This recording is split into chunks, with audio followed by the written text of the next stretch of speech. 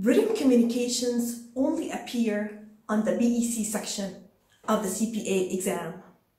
These are basically essay questions, and while they can be overwhelming to CPA exam candidates, they can be easily mastered with a good plan. In today's video, I am going to give you my best tips to help you ace the written communication section of the business environment and concept section of the CPA exam. So keep watching. Hey future CPAs, this is Ala'a Abu Dayyeh. I'm a licensed CPA in the state of Colorado and I help students pass the CPA exam and become CPAs. If this is your first time here and you're interested in becoming CPAs, start by subscribing to our channel and clicking the bell in order not to miss any of my videos. Written communication tasks appear only in the BEC section of the CPA exam. You will get three written communications in the fifth testlet, which is the last one, out of which two will be graded and one will be a pretest question. And since you don't know which one is the pretest question, you should take care of all three written communication questions and treat them as if all of them will count in your score. To learn the structure of the CPA exam, watch this video. Comment below and tell me if you find written communication questions to be challenging in comparison with others. In today's video, I will explain how to master written communication questions. I also will give you a real example of a written communication question from the AICPA sample tests at the end of this video. So make sure to keep watching till the end of this video. So what are written communications? Written communication tasks consist of a case study involving a writing skill exercise. You will be required to write your response to a related scenario or situation in a form of business memo or letter. In other words, the written communication tests your ability to address the needs and concerns of a specific scenario. Your response may include writing a letter or a memo containing the correct information about the given scenario or situation, which will usually ask you to explain something. BEC written communications are initially computer graded for keywords, sentence structure, and essay format. If your initial score is near 75, your written communications may be reviewed by a human in order to help you get the passing score.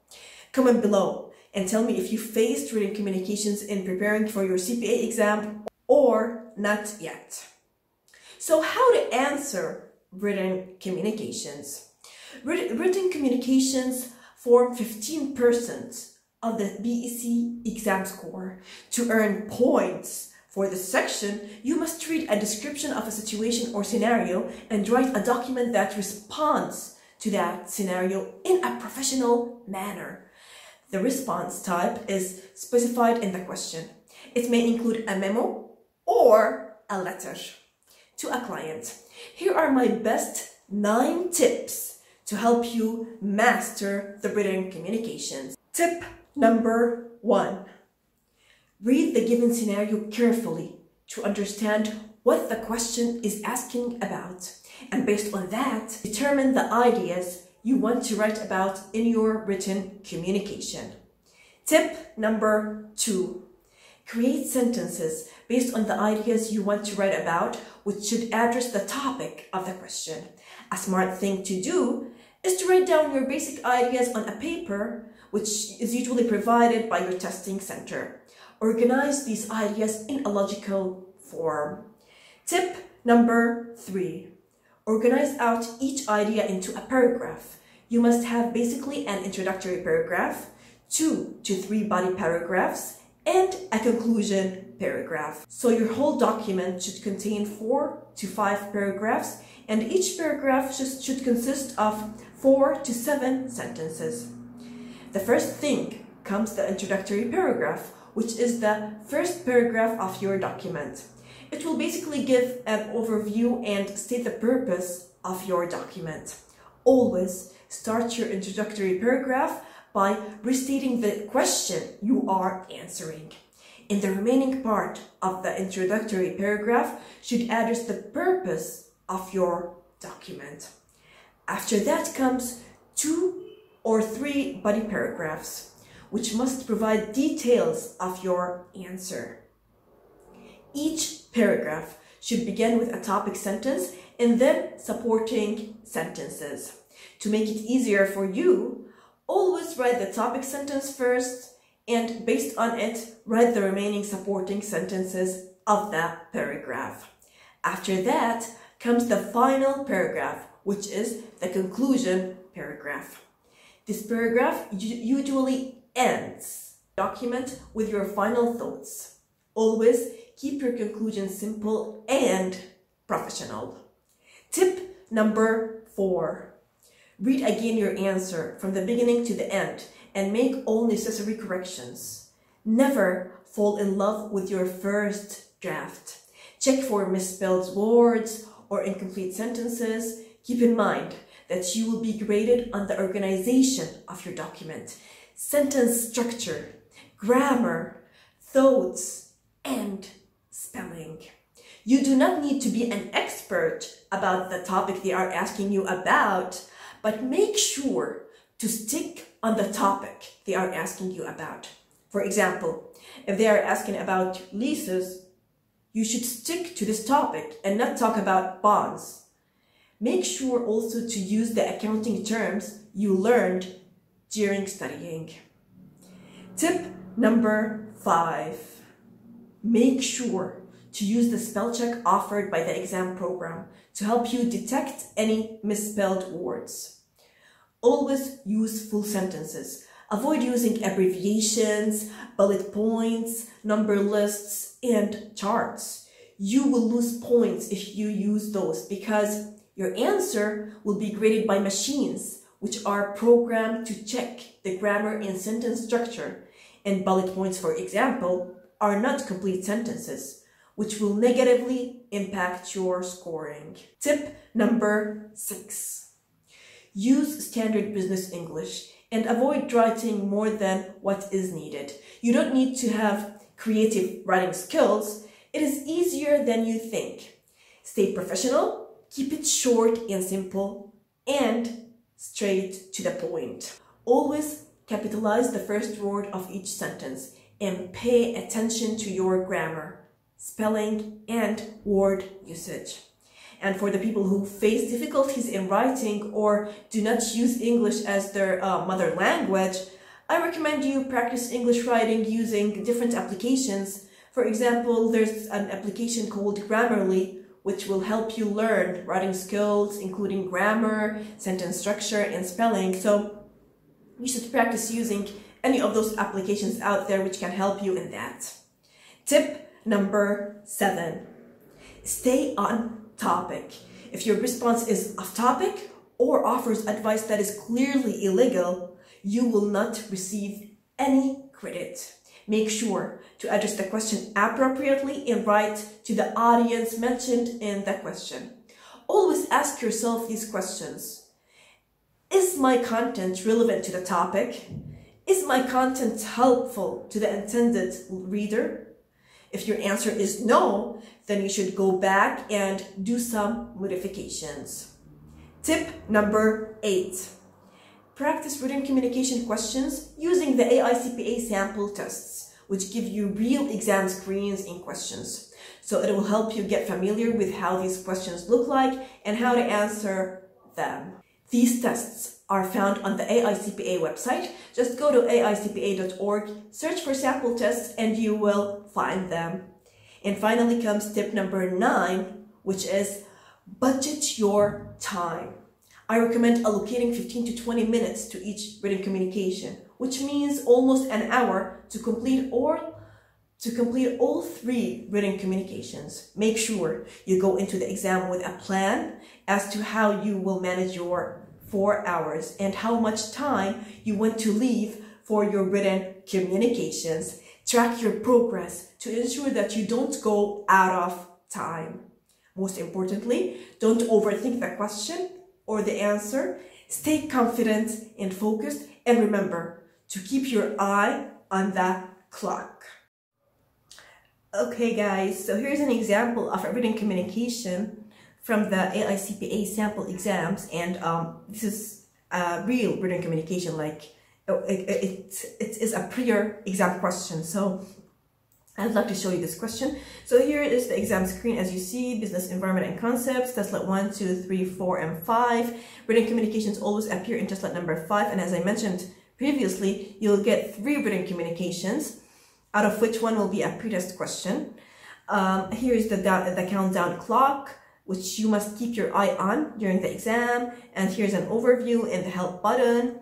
Um, and here comes the exhibits. So you can use those arrows to um, flip during within the same testlet, like go to the period questions or to the next questions using these arrows here in the exhibit buttons.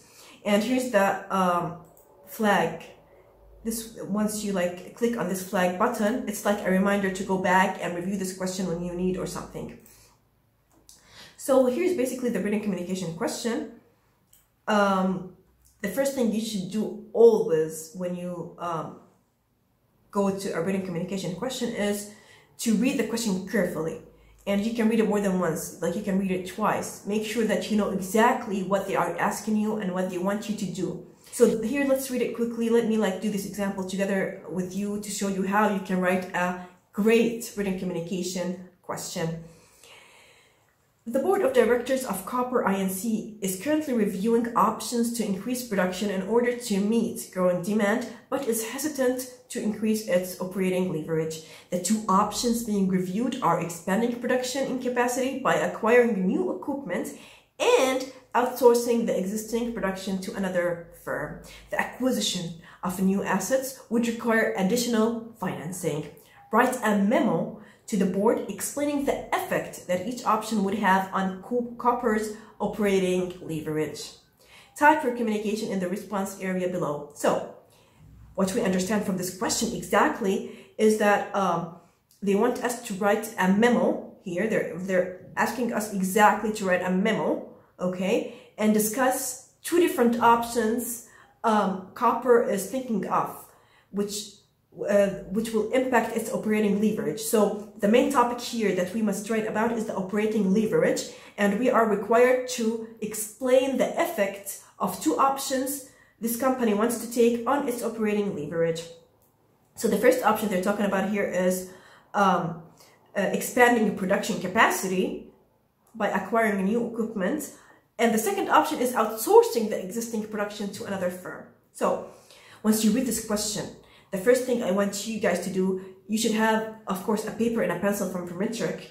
And the first thing I want you is to write your ideas on this piece of paper. Write like uh, four to five ideas you would like to discuss during this uh, written communication in this document. So for example, if it was me, um, the first thing I would write about is the operating leverage. So I would like uh, make a special paragraph to talk about operating leverage and what I learned when I studied it because it's you know it's a topic in the BEC uh, book right? So uh, write general things about operating leverage like what is operating leverage what impacts it uh, how it changes uh, uh, how fixed costs and variable costs impact the operating leverage right?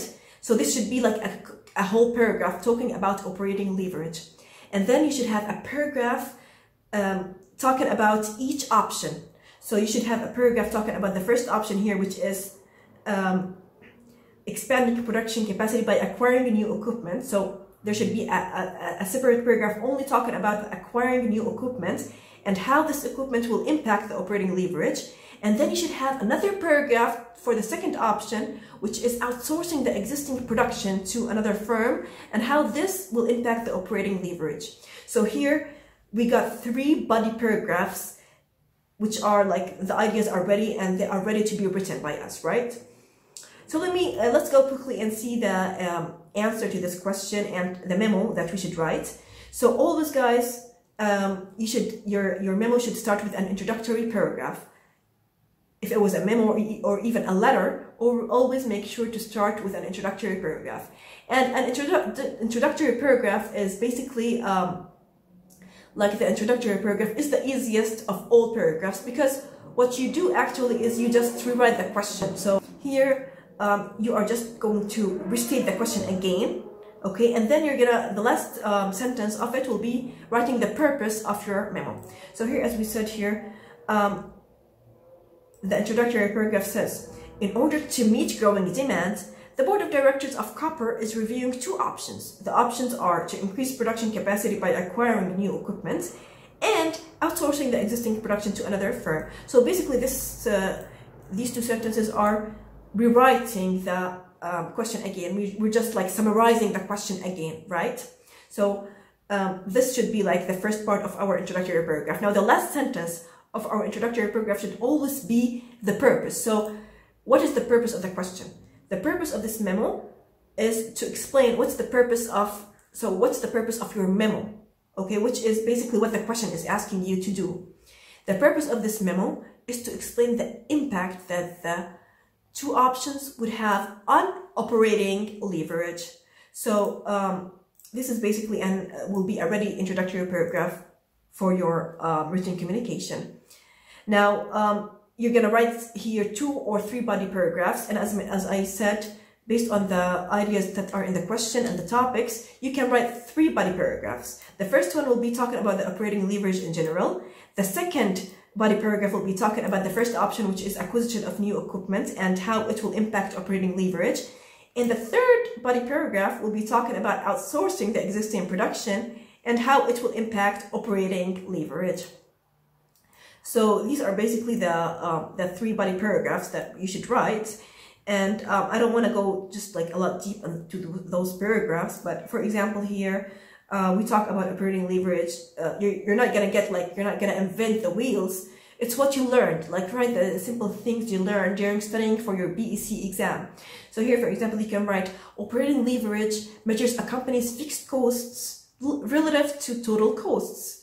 A company with no fixed costs has an operating leverage equal to one, and the leverage increases to a value greater than one as fixed costs increase. A company with low operating leverage has mostly variable costs and it does not have to generate large sales volume to recover its fixed costs. However, the per unit profit margin does not improve as sales volumes increase. And then you can talk also about a company with higher operating leverage must attain sufficient sales volume to recover the high fixed costs. So these are, for example, what you can write here. And then you, you so um, as you can see, the first sentence always, you can write like um, the topic you want to discuss about. And then the other sentences are supportive to the first sentence or to the topic you're talking about.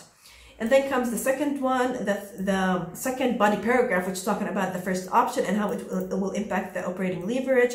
And the third paragraph. And finally, um, you should always have a conclusion paragraph, right? So in this paragraph, you write your opinion right? You, you write your opinion. So you write here, um, which of these two options will mostly impact the um, operating leverage. So here our conclusion for it says, of the two options considered, outsourcing existing production has the least impact on operating leverage, assuming copper, assuming Cooper can successfully negotiate a per unit price contract. Financing the acquisition of new equipment would likely increase the operating leverage more than outsourcing as it results in higher fixed costs in the form of interest expense. So these are my best nine tips to master the written communication section of the CPA exam.